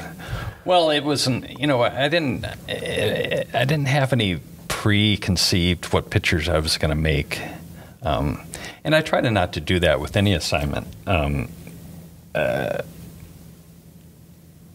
at all. I don't. You know, expect the worst and hope for the best kind of thing. Um, you know, I was flying halfway around the world. Uh, I didn't know what I was necessarily getting into. It was there's a learning curve to shooting the Olympics. I mean, it just there's this process that's took me a few days to figure out. Um, you know, I went on you know shopping spree and getting cold weather gear and special gloves and and then when I get there and it's really not cold at all. or I'm in I'm inside, you know. Right. I'm in I'm in you know, I'm shooting figure skating, you know. I don't know if I ever want to see a pair of skates again in my life, but in hockey, you know, it seemed like that's all I was doing. Well, you know, I was doing local stories. The you know, figure skaters from Southern California and Selanne, hockey, hockey right? players. Yeah, Teemu was there for, for Finland. Right, so the Ducks, um, it's like that- the always a Ducks connection. had players there. The Kings had players there. You know, we were shooting those guys and whatever team they were on, the Canadians or whatever. And so, So you're shooting digital. yeah. Do you, do you sit in your head and go, okay, how many cards do I have? How many hard drives do I have? Is my computer up to date? God forbid anything crashes, dies, and my sup, my you know software is all up to date. Like you get all those ducks lined up Yeah, before you even yeah, hit out the door. Yeah, I think I got a new computer a couple months before I went. And got hard drives. Got I don't know, two or three extra external hard drives. Got a whole ton of cards. Had like you know 15, 16 cards. But little did I realize they weren't very fast. That's Oh man, it was a killer. right. When you're shooting, you know, 60 gigs worth of figure skating in one night, And you then gotta download upload it. Yeah, download that, and it was just like taking like an hour to do that, and it was like, oh, you're kidding me. So yeah, it was pretty painful. I, I, I wasn't. I'm not necessarily a geek uh, as far as computers and stuff are concerned, and yeah, I wish I had gotten super fast cards. So if that's happening to you like in day one, day two, day three, do you change the way you're now going to be shooting or processing, or you start downloading during an event? Or Yeah, no, you know when there were there was breaks in the figure skating, I was like, man, you can't wait till the end. You can't wait till you know when this is over at midnight, because you'll never get it. and you know, you know, I, I, I was getting home at four in the morning as it was, but uh, yeah, so I'd start. You know, when they'd have breaks, I'm like, okay, I got to get my download my card right now. Start, start. Yeah, get this stuff down, and you know, just you're shooting skating for four hours, and you're you've got a ton of photos to look through. And at first, I thought, well, I'm I'm not going to shoot all these. I'm not going to shoot all these skaters. I'm just going to shoot the three that I. But what if somebody I don't shoot gets the gold medal? Right. You know, Someone like- sneaks up, and and you're like, oh man, I got to shoot everybody doing everything. What were those days like? Well, we got there, flew from uh, LA to Frankfurt, spent the night, and then flew to Sochi the next day. Got there like nine days before the Olympics. Nine days. Nine days. I went, flew with a writer. Who was He- the writer? uh, Scott Reid. Scott. Okay, right, of course. And so here I am. I got to wander the, the Olympic Village by myself for nine days. And you must have been the first photographer right, there. right, right. yeah, it was. It was. Well, the whole the whole being there was probably you know nine days before. I think it was kind of. Uh, I felt like I was always being watched. Oh, You know. yeah, interesting. Well, we got off the plane and there were like eight military people standing right next to the door, videotaping you, and and you're just like, oh, geez, welcome to Russia. hello Hello. Yeah, and and I think my room was on the top floor in a corner, and I, it seemed like everybody else in my building was just Russian. There was no other photographer, anybody that was remotely, uh, yeah, Right. You had, everybody. you had the Warsaw Pact. Nobody was from NATO. Man, yeah. Were you happy with digital cameras back then in 2014? Oh yeah, yeah, yeah. It was fine. Yeah, yeah. I was I was real happy. Okay. Yeah. Were you guys shooting digital or were you shooting, uh, I'm sorry, Canon or Nikon back Nikon. then? Yeah, Okay. Yeah. All Nikon. So that made life a little easier. Yeah. Yeah. What was your best photo out of there? If someone says, Mark, send me your print, your best photo. Because it's very overwhelming. Opening ceremonies, closing ceremonies, gold medals, winners, losers, Right. feature art. I mean, did you even have time for feature art? Yeah, I did. No, I did. I did. In those first nine days, I shot a lot of features. I was shooting features every day. Um, and then I'd try to go before events and shoot stuff in the village. Uh, even going from one venue to the next, I shot, would try to get, you know, I'd have like 10 or 15 minutes and try to shoot a feature or two. Um, wow, my best photo. I, there was a photo I shot of speed skating of a guy that ended up setting a world record in like the 10,000 meters or something. And I wanted I wanted to pan. And so he would he would you know, we'd skate on the inner on the inner track, then you know every lap, then he'd go to the outer track. Then, so I'm I'm, I'm trying to pan and trying to get a cool shot of this guy. And uh, I mean, you could, you could shoot him tight with a long glass, but uh, I don't know. It was kind of easy. I wanted Right. to do something different, so I was panning like at I don't know, I don't know what I was panning at. You know, fortieth of a second or something. Handheld or on a monopod? No, uh, handheld. Okay. With a wide lens Okay. really wide, and and I'm I've, and I don't know how many times went by me, you know, Right. Over and over. over and over, and I kept looking at my you know my ten photos every time he'd go by, and I just wasn't getting Enough. the pan correct and getting the whole scene. I mean, I probably shot like 300 images before I finally Got it. okay got the got the feel of it. Right. the You've got to get his timing, and you have to swing together. Right, You to right. get the shutter speed right. Not too much blur. Not not too little. yeah, though it was, ended up being a really nice image. but and he's yeah. fast. Those Oh guys yeah, are those flying. guys fly, and that this is this is the uh, the long track. Right. I mean, Ten thousand meters. Yeah. yeah, but you know, then I shot shot short track. Now talk about fast. That's Right. crazy. That Right. that's like the coolest sport ever. Yeah. I love shooting that. Those guys have thighs. thighs. That's all they are. Just butt and thighs. That's all they do. Is push Yeah. off fast and go.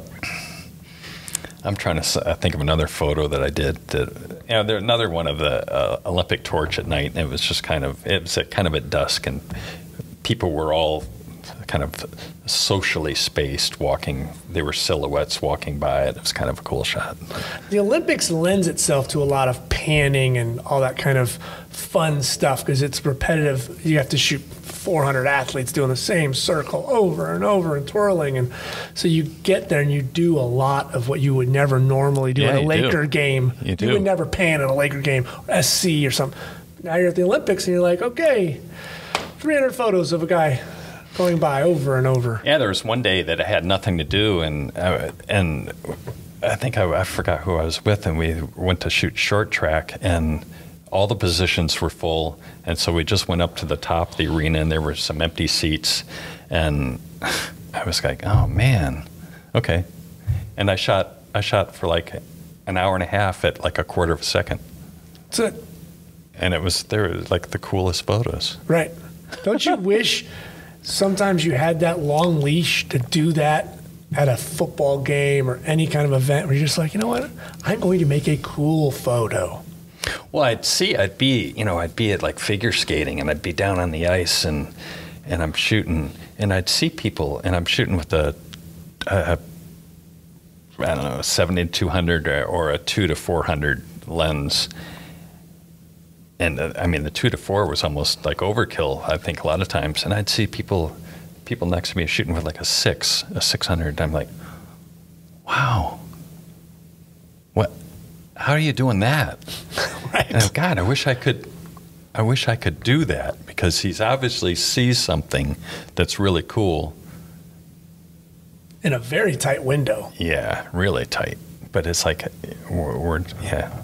I'm not. We're not. We want. You know, I'm shooting for a publication. We need something. I got to tell a story. I'm not Right, shooting right, product photography right, at the right. Olympics with rings in the back. I mean, that's and that's the interesting part. You have so many different people there. Everybody's making a little different something, right? Like David Burnett shows up, and you're like, wait, what? The four by five, really? Speed Right. graphic? Right. Right. And He makes those images, and you're like, oh, I wish I could just spend the Olympics making beautiful photos like that. Instead, I got to follow Katie from Laguna Hills around, and she finishes 17th place in skating.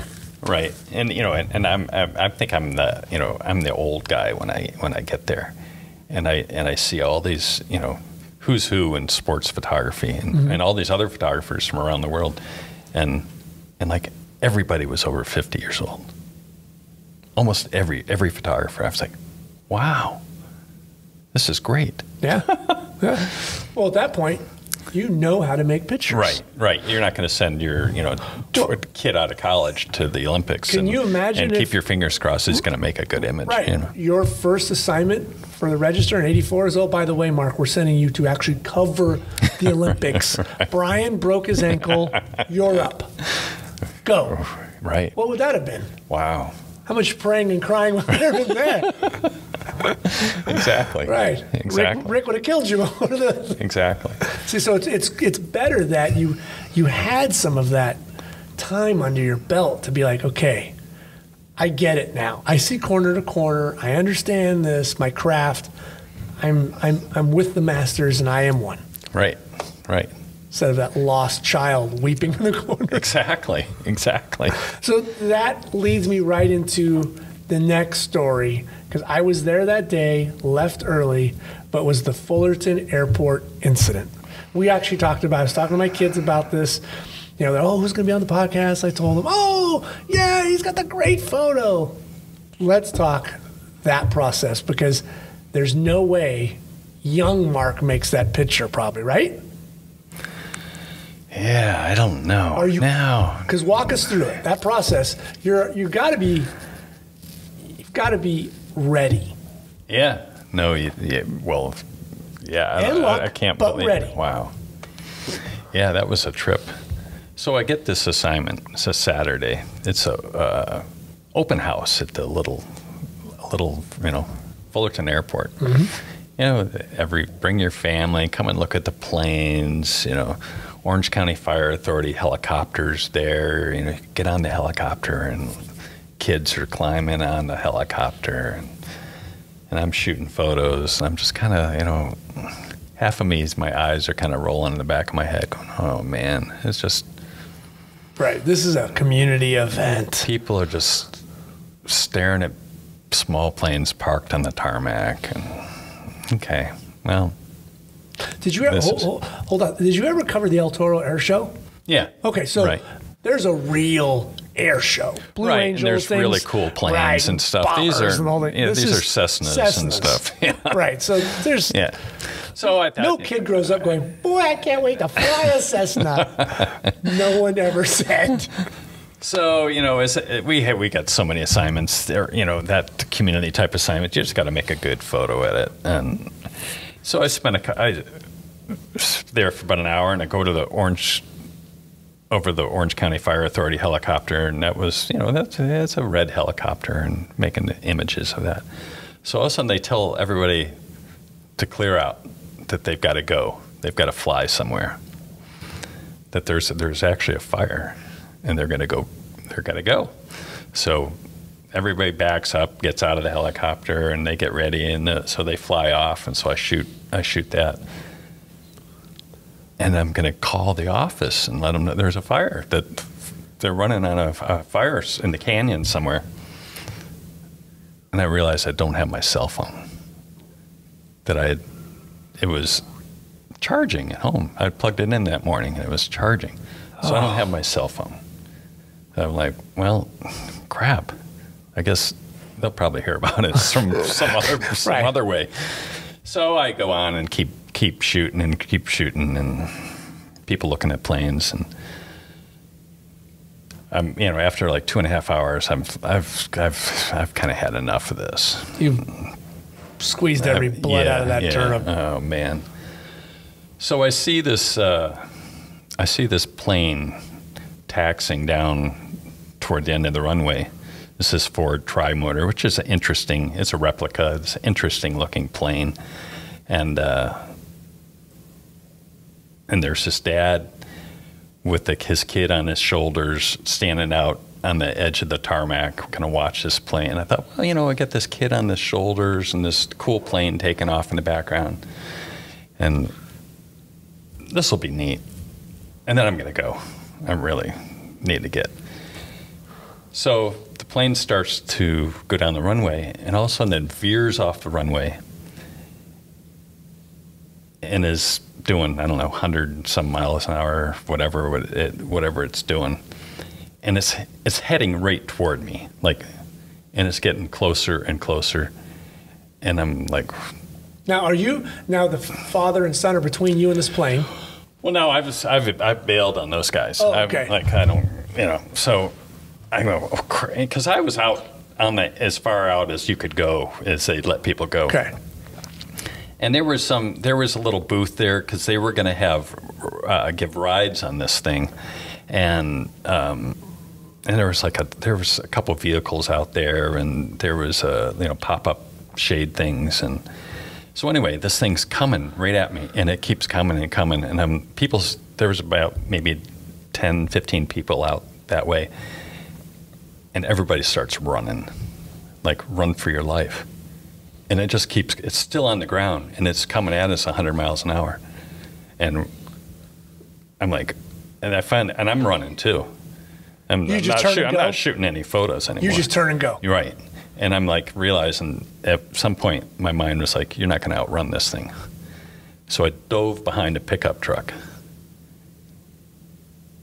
and i just like and so the pickup truck is between me and the plane i'm like i I don't know what good this pickup truck's going to do, but um, I, I don't know what my other choices were. This is it. This is so it it lifts off, probably maybe hundred feet from me, and it flies about fifteen feet over my head, and I'm I could hear it coming, and I'm just ran. I had a wide angle lens on, and I'm just like shooting frames, and it flies, and I have these wild frames of this thing flying 15 feet over my head. And my heart's just pounding like, holy moly. right. And so I watch it and and I go, it's gonna hit the tower. I'm like, wow, what is going on? Is it And slow mo in your head at this Yeah. point? Like just Yeah, Matrix. totally. And then it, it banks really hard and misses the tower. And I'm just I'm kind of watching it, like not believing what I'm seeing now. But even though I did shoot it going over my head, but when I, I watched it bank at the tower, and it, and it, it finally is the perpendicular. The the wings aren't parallel to the ground anymore. I'm like, it's not going to be flying much further. And so I started, I just started shooting photos. And it did. It just like then crashed in front of the airport. And man, my, my heart's still pounding. And I'm like, holy moly, Right. this I've plane. survived, but now it's crashed. And so I try to run from my position out on the tarmac to where it's probably two or three hundred yards to where the plane crashed. And I was expecting like a big ball of flame or something. And I don't know if it didn't have any gasoline on board or much, but there was very little fire. So anyway, I'm trying to run to get to there. And I literally, my, I, my heart's just going as hard, hard as it can. I, I, I couldn't move. I mean, I had to stop because I was like, my body just wasn't working. Right. And uh, and I realized that there were so many fences between me and it that I, I wasn't going to get there anyway. So I had to go around and uh, come in, go out the way I came in, and you know, all hell was breaking loose. That plane was sitting out on the on the roadway, smoking, and there was a few people with fire extinguishers out there, and And now at this point, people are just just running like crazy out of all over the place. Because there's families, there's people. Right, right. I I don't remember. It's I on mean, Commonwealth. It was, That's a decent sized street. right. There's apartments. There were people out there standing there. I mean, it, it hit it hit or almost hit an auto part, uh, auto center, auto Tire, repair shop, yeah. repair shop, um, and it was sitting on its belly out on the middle of that street. It was just surreal, and so I. I went over there and I started shooting as I got near it, and I kept shooting and kept shooting. Um, and then as I get closer to the plane, there's like a eight, ten foot section. The end of the wing is sitting on the roadway, and there it's sitting right next to a car.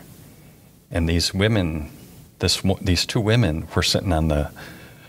I think fire must have there must have been a fire station or the fire people were there real soon. These people were helping the, this this uh, these two women, and I finally realized that the planes, when the wings were perpendicular to the ground, the wing hit this car driving down the street and broke off.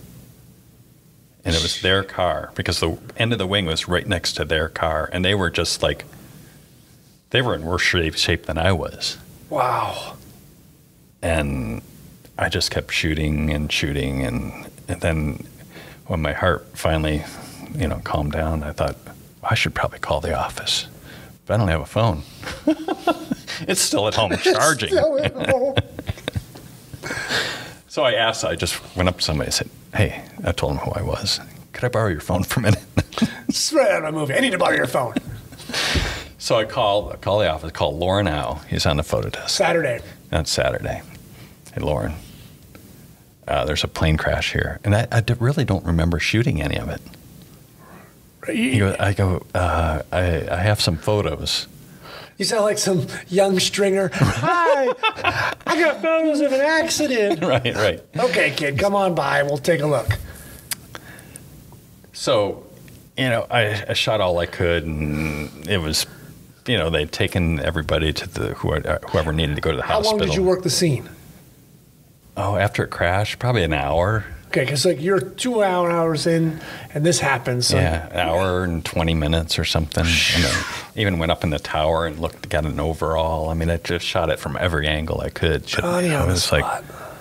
Unbelievable. and so I really didn't. So I went back to the office and processed my film, and I kind of gave it to Lauren and said, "Here, take a look." Right, film? Was it film or digital then? Or was it digital? When was this? 90. Yeah, I think it was digital. I think it was digital. Right. No, sorry, it wasn't. Yeah. So I, I probably uploaded it. Old sorry. habit, but yeah, sure. Um, I can said, only imagine you here's right, right. I said, here's my here's my laptop. I got all my images uploaded. I didn't even look at it. I said, here, you look you look at it. I was still a basket case. I'm sure. And he's like, you know, oh wow, Mark, you know, and he shows me the image that ended up running in the paper on the front page, and I was like, I had I didn't even remember shooting it. Right. I was like, wow, Just wow, right. Now, what'd you have around your neck? 1735? yeah, yeah, and the seventy to two hundred. Right. That's your pretty standard Yeah. go to community stuff. And Yeah. you just pulled, fired, and just did. So you have really no deep recollection of even looking through a viewfinder. It's just kind of happening. Yeah. And I think somebody, I think that was on a Saturday. I think either, I think on maybe Monday, I remember somebody, somebody on the photo desk calling me and said, Oh, NBC called and wants you on the Today Show. And I was kind of like, I was, I was still really Still rattled. rattled from this thing. I almost got run over by a plane. Right. and if, now, if I remember correctly, that is a three plot prop plane, right? One right in the nose, Mm-hmm. Right, and- two in the center, Right. or two off center. Yeah, So you're yeah. basically looking at Ginsu knives coming at you. exactly. I mean, it's not like oh, I could you know dodge this jet plane. It's Right. it's blades, straight front in your face. Yeah, yeah. Although I couldn't see it because they, the, those pop-up shades, because it flew, and the, and the truck that I was behind, I was laying next to the wheel. I was on the ground, just like praying. Right. You know. Again, back to the praying. For those who take anything away from this podcast, as a photographer, there's a lot of praying. a lot of praying. Uh, I mean, with, Yeah, it took me like a week. I mean, it's still so you didn't do the Today Show. no. Because no, it would I have was just, like, no, just no, a rambling fool otherwise. Right, right. Thank you. This is Matt Lauer. Like, back to you. and it would have been nothing. No, yeah. And I've never really been one for, yeah, the Yeah. spotlight at all. Right. You know. So there's you've nothing nothing close to that. Like just sheer life on the line. And you're not like you're covering the riots in 91 with like Paul or anything, but this is like fun, like the riots you know going in what you're expecting. They're just what you covered in the last couple of months, in a couple of weeks. This is community event. Everything's fun. Everything's jovial. Everyone has a good time, and then sheer terror. right, it turned ugly real fast. Yeah. That's the part that gets your heart rate going because you didn't even have a chance to like, oh, okay, I'm covering Right, what could right. be Gear a your body up for right, something. A protest Yeah. could turn ugly. Right, right. Nobody says community events turn ugly. that's the that's the horror. That's the Stephen King novel. That's how, it's all fun and games How, until how can this, you know, airport open house? How can it go bad? right. I'll show you Ginsu knives. Yeah. It- if you look back at it now, I mean, there's nothing you could say I could do different because you're basically just running on pure survival instinct. Just find something to get between me and blades. Yeah. Yeah. I- yeah. You didn't. What direction are you going to run? You don't know which direction the plane's going to go. Right. You know? It's already darted one direction. Right. Right. It could go a little bit, and you know. Right. Yeah. So then let's talk about something a lot more fun the then and now project. I always loved that with the older photos and then you presenting the now photos in that. How did that come about? Oh yeah, I shot. Maybe I'd seen that somewhere, and uh, Like old Huntington Beach with the you know oil rigs. Now it's Huntington I Beach with the homes. I think I, I had been years ago been to I think if the, its first American title company or I'm not sure that their name. They have like the biggest archive of old photos from early Orange County, and uh, a couple times I'd have to go there and copy old photos of old buildings or old something, and I would end up seeing these scenes of Orange County back, you know, when PCH was just like a a dirt trail running Right. along the coast, and I'd, and there were some they have some wonderful photos. And I again, I think I had seen somewhere where somebody had done that that type of thing and had a had a an old photo in you know today's scene, and that, that that was just something that was really really cool that I, I thought that I, w- I would try to do, except I hate the look of my hands when I'm holding that photo out in front of my camera, and, and then it's weird if you have somebody else do it for you because the, you're It's you're right per- yeah. you're, you're you're holding your camera with one hand and grabbing their hand with the other and moving it back and you know and it's just like uh, it doesn't work. No. It's got to be you. Yeah, it's got to be me. That's what makes it the best, though. I should go it's to the you. nail salon beforehand, though. Do you believe you were born in the right era? Do you were, would you be like I want to be a photographer in the 30s, 40s, 50s, 60s, or do you like the era you were born in, where you've got that film to digital, or would you want to be the 20 year old Mark now coming up? no, man. Yeah, I, oh, I, I wouldn't. I wouldn't want to be coming up now. I don't. know, Maybe it's fine, but Right? No, but would you you, know, like no, to? it was a great. It was like the heyday of, you know, photography and, and publications. 35 was, great- now the the medium. There wasn't the oh I'm shooting 35 and that transferred over to you know medium format at 30. It was 35. Right, There was right. no going back to speed graphic. Right, right. Can you imagine going to shooting sports with a speed graphic? Remember Stan Bird? He was a community. I would talk to him and he, and he would say that how he used to cover with a speed graphic and then with a, a Raleigh and just be like, how? Wow. One photo a frame, shoot it, pull it out, start over, put in a new bulb. Just be like, oh, good God. Well, that's my, my, my when I first got my Nikkormat and I'd go shoot sports. It was click, you know, Advance. advance the film, click. Yeah. Right. That's how it was. That's how that's how it was. Take you know? it. Yeah. So, no, I think it was a great. It's a great time to be. It was a great time to be uh, a photojournalist in the time that I've I've been in. That that Yeah. era you've Yeah. risen through. Yeah. Yeah. Oh yeah. Big time. How okay, so we talked about your building your confidence into becoming a portrait photographer, right? There was no there was a learning curve. How are you now? How do you like to deal with celebrities now? Cuz or just the I general don't. the general public now. Right. Right. No, I don't. We we don't. We don't shoot as many celebrities and shoot those portraits anymore. Um, no, I'm. I'm actually really comfortable dealing with pe- you know dealing with people in general and shooting portraits. I mean, What I've got got, a there? lot of. I know it's just. Uh, Competitiveness? yeah, rep- yeah, repetitiveness and getting uh, realize that you don't have to stress over it, and you, you know, there, there's beauty everywhere, and and there's there's always a scene that you can take somebody a doorway or a simple scene where you can place somebody in it, and and you don't have to, uh, you know, stress over it really. Right. And you you have found that beauty in everything Mm-hmm. in the wedge. Let's talk about that. I know when the surf gets up, oh, okay, Mr. Ra- my, Mr. Mark's going to make some pictures. I mean, you love that beach, that wedge. There was a time I knew the surf was big and I thought I was going to get a jump on it, and pff, you were already there.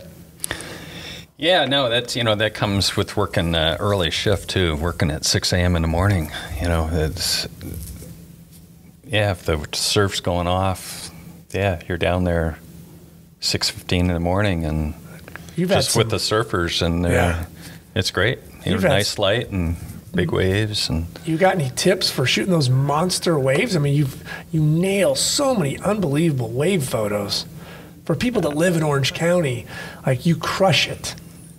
I don't know. I, I guess it's just the experience. I've done it. You know, I said I told somebody recently when I was I was actually back at Ohio University back in uh, January, and I said to somebody, I said, "Who would have thought that this kid from Ohio would spend 35 years shooting surfing?" But you know, I think you know the more you do something like that, the better you get at it and understand it, understand the waves and uh, and the surfers. No, it's fun. I you know I love it. It's you know it's something I didn't really grow up with, and it's I still love shooting it. I mean, you couldn't tell. For the love of God, you look like you've been a water polo Right, player and you've been in the ocean forever. I mean, because whether it's big, huge south-facing swells at the wedge and you nail it, you're you're never. O- what I always found incredible is you were never over or under lensed. You always had the sweet spot. Like some guys go, "I'm taking the six. Well, not at the wedge. Right, right. No, you want to show the whole the it. You know, it's part of my maybe my nature. I'm, I'm almost bring my my nature photography, my scenic kind of photography into that type of uh, scene where I want it. I want it to be a beautiful photo. I'm not just. I don't want just another action shot of somebody Right. riding a wave. I'm, I, I want this to be a beautiful photo, and and they can be, but you need to show like the whole wave, kind of the whole scene, and then put the the surfer or the body board, the you know the body boarder or the uh, body surfer in that scene. So the the wave creates the scene, and then you, hopefully somebody's in there You got it. falling thirty feet. You know, Ha- Have you ever shot that and gone, oh boy, this is going to go ugly for somebody? Because falling 30 feet or onto- whatever, twenty feet or Right. something. oh yeah, and yeah, then having you know how many tons of water falling on top of you. Yeah, you know? even falling six feet, you're only falling on 12 inches of water. But that's the thing people don't understand. You're not falling out into the Pacific. There's no water underneath you. So I don't care what the fall is. You hit sand, and then a foam falls on you. Right. It's like Butch, Butch Cassidy and the Sundance Yeah. Kid when they jump off that cliff. Yeah. I mean, so have you ever shot any of those and just gone, oh, this is not going to Oh go yeah. well? Oh yeah. You see somebody Really like, hammered. oh man, this is not gonna. This might be a rescue in the making here. I just shot spot news. right. Yeah, fortunately, I've never been there when they've, you know, somebody's gotten messed up because I know people have gotten messed up real bad. Oh, Down yeah. at the wedge, Oh God. like broken their back or their neck or something. Yeah, I saw a wrist one time and it was pretty ugly. Ah, man. Yeah. I've just seen broken boards down there, but that's about it. I don't know who would ever want to put a surfboard on that monster. Some people do. You know, it's crazy. And I know just a few days ago, they it was crazy. I didn't get to go down there. I was doing other stuff, but yeah. Okay, so what is still driving you creatively? What is still getting your fire lit to keep pushing Mark every day? That's the challenge. I know. You would think by now that I would just like, I've you know been there, done that, and Has mirrorless helped? Because I know you got a little love for Sony. Yeah. I've seen you uh, play with that weapon. Yeah, I no, I play with that. Um, hmm, no, it's just it, you know, it's like it doesn't matter what kind of camera you're using. You know, whether it's your your It's a i- your different iPh- tool, though. your iPhone or your yeah yeah. Um, I don't know. It's just to, it's it's it's just every day to see what. Uh, what kind of photo is gonna you never know. Every day is different. And and uh, like out of these just simple community assignments there are good photos there. And i mean there's good photos in your backyard. You know i shot a photo of a squirrel climbing uh climbing up wires last night that was just kind of funny you know? Um, you just never know what you're going to find out there. I think that's what's fun is just being out there and Still the spontaneous of the spo- job. yeah, just spontaneous that you're going to see something that's going to be really cool. I shot a picture of a, a dog out for a walk the other day at San Clemente who was wearing a, a hot dog outfit, and it was just hilarious.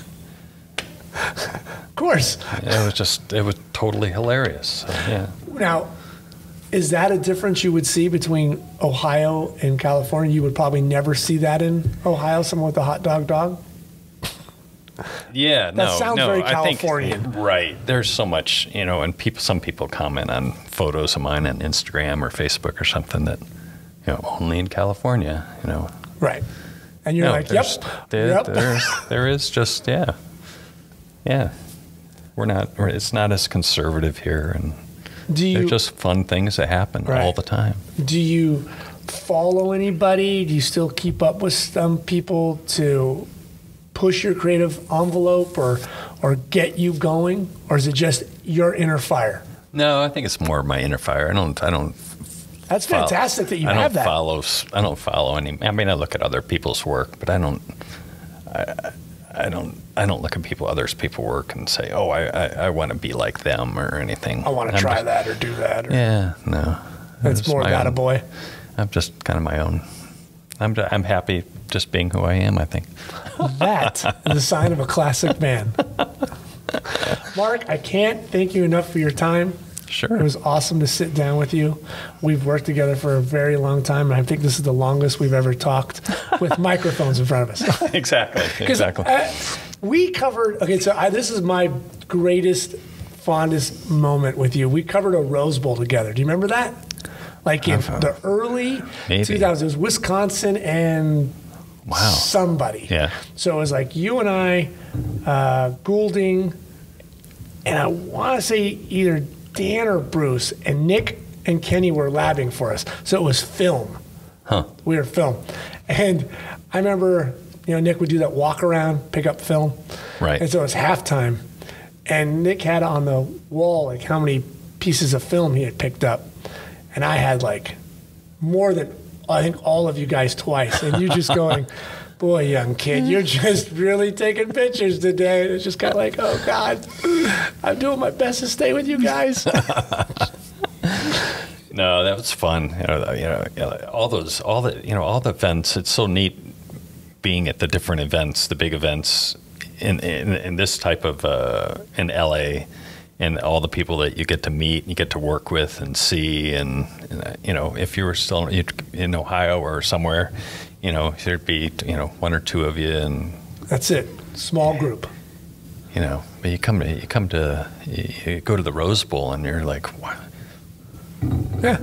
200 people all of a Yeah, sudden. Your right. friends again. Oh, here's Right, Lewis, right. there's Wally, there's Rick, there's this guy. there's- Right, right, right. Yeah. No, it's great fun. Well, Mark, thank you so much. I uh, appreciate Thanks, your time. It's great talking to you. All right, let's go to lunch. All right. Yeah. Bye. Hope you enjoyed that podcast.